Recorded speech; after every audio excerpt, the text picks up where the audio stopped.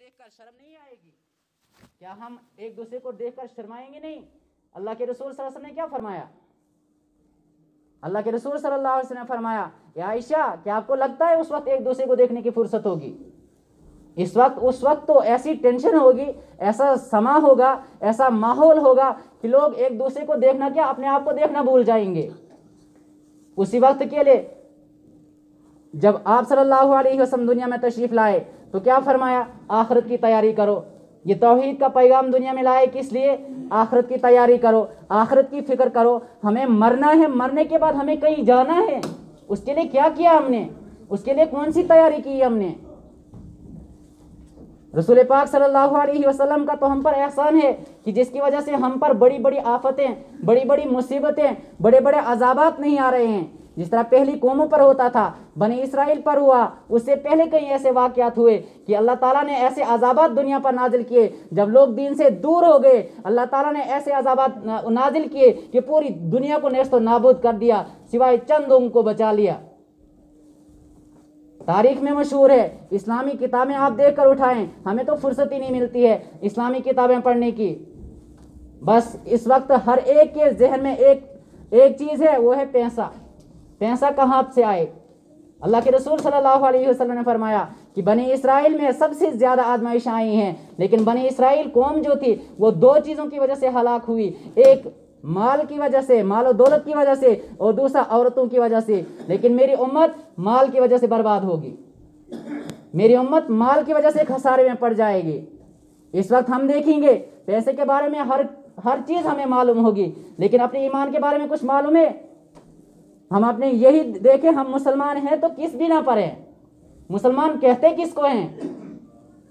हम कहते हैं हम मुसलमान हैं। क्या पता है? हमें पता है मुसलमान कैसे होता है इंसान? मुसलमान कहते किस चीज़ को है? ईमान किस चीज़ का नाम है? थोड़ा सा मैं आपको, आपके सामने इसका तस्करा कर दूँ कि ईमान क्या चीज़ है? ईमान कहते किसको हैं? हम कलमा पढ़ते हैं, लेकिन हमें पता नहीं ईमान कितनी चीज़ों का नाम है। कैसे एक मुसलमान मुसलमान बनता है? मुसलमान बनता है चार चीज़ों से इंसान। दो चीज़ों से मानना है, दो हस्तियों को मानना है। दो चीज़ों से क्या मानना है? हम कलमा पढ़ते हैं, ईमान मुजमल। आमन तो बिल्लाही कमा हुआ बेसमाही व सिफ़ात ही व कबिल तो जमी अहकाम ही इकरारम बिल्लिसानी व तस्दीक़म बिलकल्ब। ये जो इकरारम बिल्लिसानी व तस्दीक बिलकल्ब है, दो चीज़ें हो गई ये। इकरारम बिल्लिसान, इंसान ज़ुबान से इकरार करे। ज़ुबान से इकरार करे, व तस्दीकुम बिलकल्ब और दिल से गवाही दे। किस चीज़ की गवाही दे? दो चीज़ें हो गई, दिल से भी मानना है, ज़ुबान से भी मानना है। किस चीज़ को मानना है? ला इलाहा इल्लल्लाह, अल्लाह के सिवा कोई मबूद नहीं है। अल्लाह अकेला है, उसका कोई शरीक नहीं है। उसके सिवा हम किसी के सामने अपना सर नहीं झुका सकते हैं। और दूसरी मोहम्मद रसूलुल्लाह सल्लल्लाहु अलैहि वसल्लम। और मोहम्मद सल्लल्लाहु अलैहि वसल्लम अल्लाह के बंदे और रसूल हैं। इन चार चीज़ों के मानने का नाम ईमान है। अब अगर इन चार चीज़ों में से कोई एक भी छोड़ देता है, वो मुसलमान हो ही नहीं सकता है। पहली मिसाल देता हूँ मैं, इकरारुम बिल्लिसानी व तस्दीकुम बिलकल्ब एक इंसान है वो ज़ुबान से तो मानता है, लेकिन दिल से गवाही नहीं देता है कि अल्लाह एक है, या मोहम्मद सल्लल्लाहु अलैहि वसल्लम अल्लाह के बंदे और रसूल हैं। वो मुसलमान नहीं हो सकता है। मिसाल इसकी, मुनाफिक लोग हुजूर पाक सल्लल्लाहु अलैहि वसल्लम के ज़माने में होते थे, जो अपने आप को बचाने के लिए ज़ुबान से कलमा पढ़ते थे। ज़ुबान से कहते थे, हम मुसलमान हैं। लेकिन दिल से वो कभी मानते नहीं थे कि हम मुसलमान हैं। सिर्फ़ अपने आप को बचाने के लिए। तो उसको कहते हैं मुनाफिक। तो वो भी मुसलमान हो ही नहीं सकता है। और मुनाफिकों के लिए जहन्नुम का सबसे निचला तबका है। और दूसरी मिसाल, इकरारुम बिल्लिसानी व तस्दीकुम बिलकल्ब दूसरी मिसाल, दिल, ये ज़ुबान की है। यानी एक इंसान दिल से तो मानता है कि अल्लाह एक है। दिल से मानता है अल्लाह के नबी वसल्लम, मोहम्मद सल्लल्लाहु अलैहि वसल्लम हैं। लेकिन ज़ुबान से इकरार नहीं करता है। इसकी मशहूर मिसाल है हुजूर सल्लल्लाहु अलैहि वसल्लम के चचा अबू तालिब। हुजूर वसल्लम के चाचा अबू तालिब, जिन्होंने दीन के लिए बेशुमार कुर्बानियाँ दी, दीन के लिए अपना सब कुछ लुटा दिया, जहाँ जहाँ मुसलमानों को कोई तकलीफ़ होती थी, वो अपने आप को सबके सामने रखते थे। तो वो दिल से तो मानते थे कि अल्लाह एक है और मोहम्मद अल्लाह के रसूल हैं, और हुजूर पाक सल्लल्लाहु के चचा थे। हजूर पाक वसल्लम के बचपन में ही सब अपने वो इंतकाल कर गए थे, छोड़ गए थे तो उन्होंने ही उनको बड़ा किया था। तो कितनी हमदर्दी होगी उनके साथ। कितनी कोशिश की होगी उन्होंने उनको दीन के अंदर लाने के लिए। लेकिन आप वसल्लम को इतना पता तो चला कि मेरे चचा दिल से मानते हैं लेकिन ज़ुबान से वो इसलिए नहीं कहते हैं ताकि ये लोग न, ये ना कहें कि ये अब मोहम्मद का पैरोकार हो गया। तो अल्लाह ताला उनको जन्नत में नहीं डालेंगे। हालाँकि बेशुमार कुर्बानियाँ दी। जो करना कर सकता था एक इंसान दीन के लिए वो उन्होंने किया। सिर्फ़ एक बात नहीं की ज़ुबान से इकरार नहीं किया। तो अल्लाह ताला ने फरमाया कि मैं उनको जहन्नुम में डालूँगा। अलबत्ता ये हो सकता है कि जहन्नम में सबसे छोटा अजाब जो होगा वो उसको दूँगा। और वो सबसे छोटा अजाब क्या होगा? जहन्नम में आग का जूता पहना दिया जाएगा। और वो लगता तो ऐसे छोटा सा अजाब है, लेकिन जिन जहन्नमियों को जो सबसे छोटा अजाब होगा, वो समझेंगे कि जहन्नुम में सबसे ज़्यादा अजाब हमें हो रहा होगा। इतनी खतरनाक सजा ये भी होगी। हालाँकि होगा सबसे छोटा अजाब। तो हो गई दो चीज़ें। तो दोनों से मानना ज़रूरी है। दिल से गवाही देना भी ज़रूरी है, ज़ुबान से इकरार करना भी ज़रूरी है। अल्लाह को एक मानना भी ज़रूरी है। उसके सामने किसी के सामने हम सर नहीं झुका सकते हैं। इसकी मिसाल मशहूर है, जैसे कुफार लोग अल्लाह के साथ बुतों को शरीक मानते हैं, गाय को शरीक मानते हैं, आग को शरीक मानते हैं तरह तरह के किस्म किस्म के लोग दुनिया में हैं तो वो मुसलमान नहीं है। हो गई है, फिर मोहम्मद रसोल्ला सल्लल्लाहु अलैहि वसल्लम। मोहम्मद सल्लल्लाहु अल्लाह के बंदे और रसूल हैं। जैसे मिर्ज़ाई लोग हैं, कादियानी लोग हैं, ये मिर्ज़ा गुलाम अहमद कादियानी को नबी मानते हैं, हमारे नबी वसल्लम को नहीं मानते हैं। या कुछ हिंदू ही समझ लो, हिंदू में भी बहुत सारे फिरके हैं, कुछ ऐसे भी हैं जो सिर्फ़ खुदा को मानते हैं, लेकिन इतना है कि नबी वसल्लम को नहीं मानते हैं। तो वो भी मुसलमान नहीं हो सकते हैं। तो चार चीज़ों का के मानने का नाम मुसलमान है। दिल से गवाही देना, ज़ुबान से इकरार करना। किस चीज़ का? अल्लाह एक है और मोहम्मद सल्लल्लाहु के बंदे और रसूल हैं। तो किस किस को पता था अभी तक की बात? मुझे नहीं लगता है कुछ चंद लोगों के सिवा किसी को पता होगी कि ईमान किस चीज़ का नाम है। तो इन चीज़ों के मानने का नाम ईमान है। तो नबी पाक सल्लल्लाहु अलैहि वसल्लम इस दुनिया में तशरीफ़ लाए। इतने एहसानात हम पे किए यानी कल ही हाफिज साहब बता रहे थे कि मरते मरते तक उम्मत की फ़िक्र कर कर गए। यानी हमें मौत आएगी तो हम किसकी फ़िक्र करेंगे? हम तो अपने अलावा किसी को देखेंगे भी नहीं। लेकिन नबी पाक सल्लल्लाहु के सामने इसराइल खड़ा है। दरवाजे पे इसराइल खड़ा है। अंदर जबरील अलैहिस्सलाम इजाज़त लेने गए। अल्लाह के नबी सल्लल्लाहु अलैहि वसल्लम इसराइल तशरीफ़ लाए हैं। वो आपकी रूह कब्ज़ करना चाहते हैं। अल्लाह ताला से मुलाकात करना चाहते हैं। नबी पाक सल्लल्लाहु अलैहि ने क्या फरमाया? हे जिब्राइल जाओ अल्लाह के पास वापस। उनसे कहो, पहले मेरी उम्मत के साथ क्या होगा मेरे बाद? पहले उनसे पूछो तो मेरी उम्मत के साथ क्या होगा? अपनी फ़िक्र नहीं कि मेरे साथ क्या होगा। मुझे उम्र बढ़ा दो या मुझे कम कर दो या कुछ भी कर दो। नहीं, पहले अल्लाह से पूछ क्या हो मेरी उम्मत के साथ क्या करेंगे? हज़रत जबरील तो वसलम वहाँ से वापस तशरीफ़ ले गए। अल्लाह के पास, अल्लाह से जवाब लेकर आए और कहा अल्लाह के रसूल सल्लल्लाहु अलैहि वसल्लम, अल्लाह तबारक व ताला कह रहे हैं कि मैं आपकी उम्मत को अकेला नहीं छोड़ूँगा। तो अल्लाह अल्लाह के रसूल सल्लल्लाहु अलैहि वसल्लम ने फिर जाकर उसको इजाज़त दी। फिर जाकर हज़रत इसराइल अंदर गए और आप वसल्लम की रूह कब्ज़ की। और मौत की सख्ती कितनी खतरनाक है। आप वसल्लम बार बार मौत की सख्ती से पना मांगते थे, लेकिन आजकल हमें मौत का ध्यान ही नहीं है। मुसलमान इससे कुछ दूर हो चुका है। हज़रत उमर उमर बिन अब्दुल अज़ीज़ रहमत जब वो खलीफा बने, बहुत मशहूर हैं, ताबीन में से हैं। ताबीन कहते हैं साहब कराम रिजवान हजूर के साथी, जिनको, जिन्होंने हजूर वसम को देखा और उन पर ईमान लाया, ईमान की हालत में इस दुनिया से तशरीफ़ ले गए, उनको सहाबा कहते हैं। उनके बाद जो लोग आए उनको ताबीन कहते हैं। तो ताबीन में से थे उमर बिन अब्दुल अज़ीज़। जब वो बादशाह बने जब मुसलमानों के अमीर बने तो उन्होंने सबसे पहला खुतबा जो फरमाया उसमें फर, उसमें ये नहीं फरमाया कि मैं बादशाह बन गया मैं हलफ लेता हूँ या कुछ भी। ये फरमाया ए लोगो ए लोगो ध्यान से सुनो मैं तुम्हारा अमीर तो बन गया लेकिन इंसान सिर्फ़ वो अमारत के लायक है वो अमीर बनने के लायक है जो अल्लाह की इतात करता हो। अगर आपने कभी मुझे देखा कि मैं अल्लाह की इतात नहीं करता हूँ तो मुझे इमारत करने का कोई हक नहीं है। मुझे अमीर से गरीब बना देना। फिर फरमा, फिर जा फरमाते हैं कि जब घर तशरीफ़ ले गए, हज़रत उमर बिन अब्दुल अज़ीज़ रहमत घर में जितना भी कुछ सामान था, सब उठाकर बेच दिया और उसका पैसा बैतुलमाल में जमा कर दिया। यानी हुकूमत का जो खजाना होता है, उसमें जमा कर दिया। हालाँकि बादशाह बन गए थे उस वक्त के वो। उनके पास कितनी दौलत होनी चाहिए थी? लेकिन हज़रत उमर बिन अब्दुल अज़ीज़ रहमतुल्लाह अलैह वो मशहूर हैं कि उनको तो खुलाफाई राशिदीन में भी शुमार किया जाता है। यानी इतने इंसाफ और अदल अदल वाले इंसान थे कि मतलब बादशाह होकर भी ऐसी ज़िंदगी बसर की कि उनके दौर में शेर और बकरी एक साथ पानी पीते थे। ऐसी मशहूर मिसालें हैं। लेकिन किसकी बदौलत? ईमान की बदौलत। नबी पाक सल्लल्लाहु अलैहि वसल्लम फरमाया कर, फरमाया करते थे कि जब भी कोई वबा आए तुम अल्लाह की तरफ़ रुजू करो। लेकिन आज हम देखते हैं हम अल्लाह की तरफ़ रुजू तो कहाँ करें? रमज़ान मुबारक का बाबरकत महीना था लेकिन फिर भी कितने रोज़े हमने छोड़ दिए? कितने हमने नमाजों की पाबंदी की? ये हमारा ईमान है। हमारा ईमान ऐसा हो चुका है जो हमें उबारता ही नहीं है नमाज़ पढ़ने के लिए जो हमें उबारता ही नहीं है इस इस हालत में भी इस वक्त में भी अल्लाह की तरफ़ रुजू करने के लिए। ये हमारे ईमान की कमी है। अगर हमारे अंदर थोड़ा सा भी ईमान होता, हम ऐसा कभी कर ही नहीं सकते थे। वो भी रमज़ान मुबारक के महीने में। मेरे भाइयों, ये दुनिया चंद दिन की दुनिया है। आप कितने आपने भी देखे होंगे, नौजवान हमारे साथ हँसते खेलते हैं और दूसरे दिन कहते हैं कि वो रुखसत हो गए। कितने ऐसे हैं तो हम कब तक जिएँगे? ज़रूरी है, हमें दुनिया भी साथ में चलानी है, आखिरत को भी साथ में लेकर चलना है। लेकिन हमने दुनिया कमाने के लिए आखिरत को भूलना नहीं है।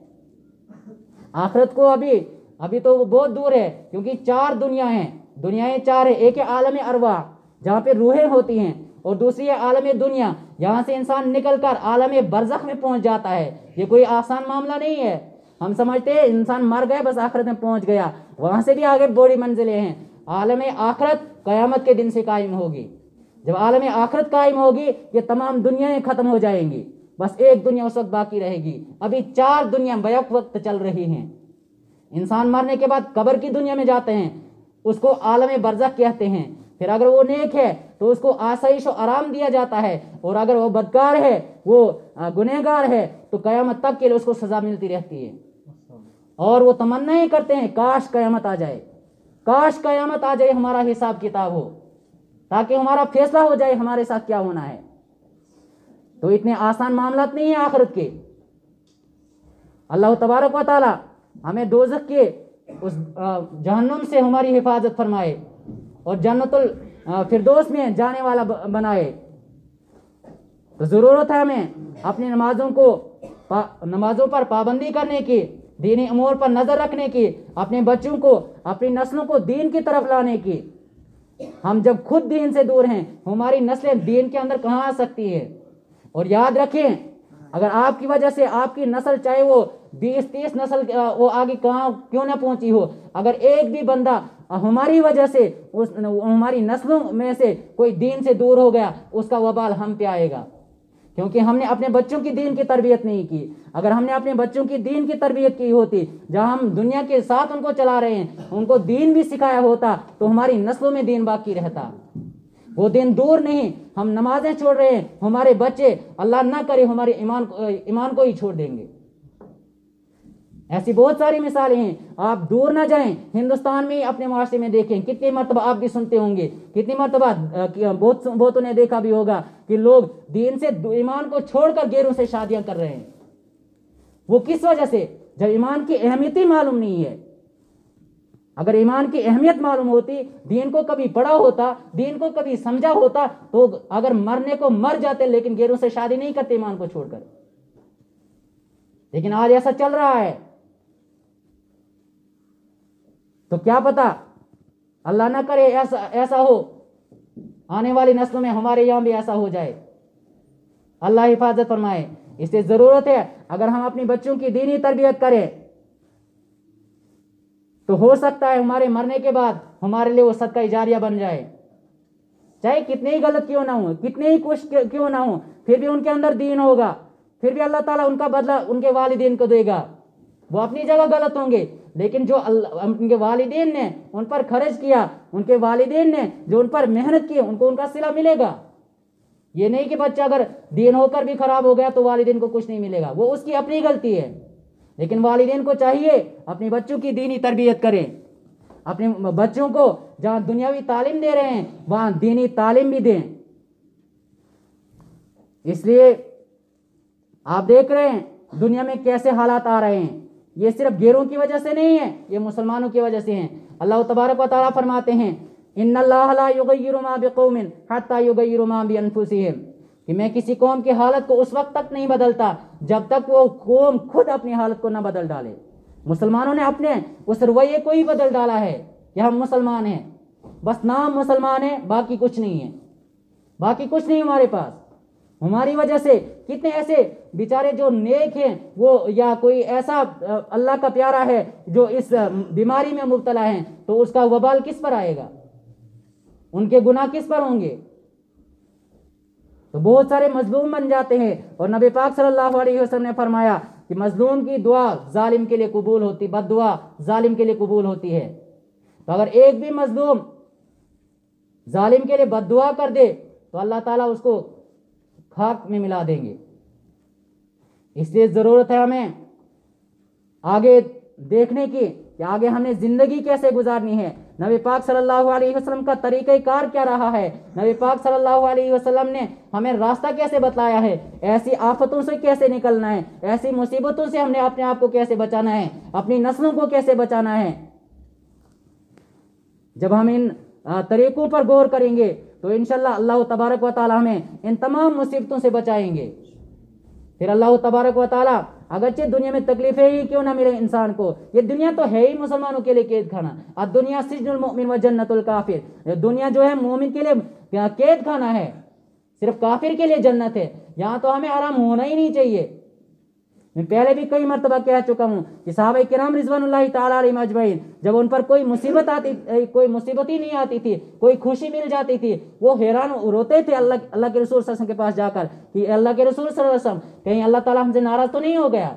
हम पर कोई मुसीबत ही नहीं आ रही है।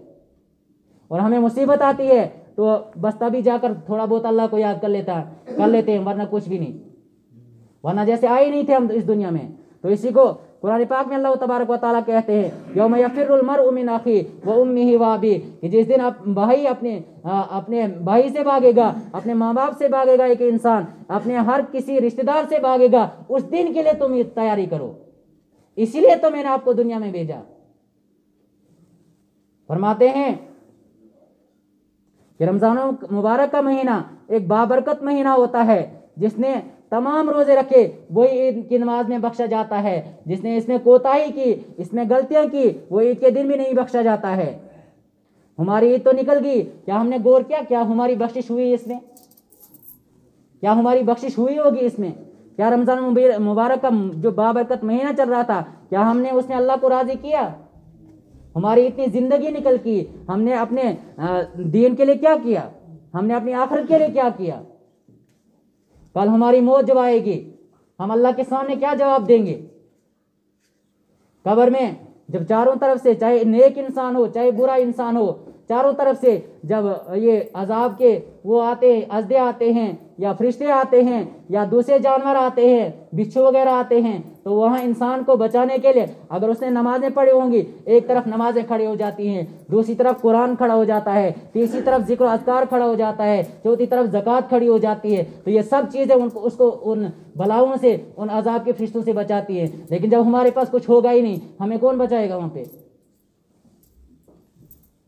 ये यानी ईमान वाला बंदा भी अगर वहाँ जाए तो उसको भी ये अजाब के फरिश्ते आते हैं वहाँ पे। लेकिन उसको बचाने के लिए वहाँ पे मौजूद होते हैं। लेकिन जो यहाँ से बचाने के लिए किसी बॉडीगार्ड को साथ ही नहीं लेगा तो उसको कौन बचाने आएगा वहाँ पे? इससे अल्लाह तबारक वाली से दुआ करें कि अल्लाह तबारक व ताली में अपने दीन की खिदमत करने की तोफ़ी अता फरमाए। हमारी नस्लों को हमें इन बुराइयों से, इस दुनिया की गंदगियों से निकाल कर अपने दीन की तरफ़ ले आए, ताकि हम इस दुनिया को भी, अपनी नस्लों को भी और अपनी आखिरत को भी कामयाब बनाएँ। अल्लाह ताला से दुआ करें कि अल्लाह तबारक व ताली हमें सही समझ समझने की और इस पर अमल करने की तोफ़ी अता फरमाए फमा अलैना इल्लल बलागुल मुबीन